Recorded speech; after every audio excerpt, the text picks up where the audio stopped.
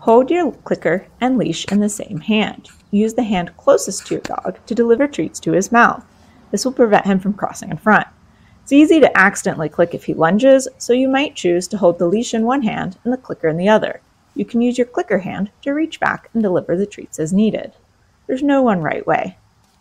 To do the activities, we can walk and reward our dogs for walking with us. Click at moments of focus and attention, and then deliver a treat after each click.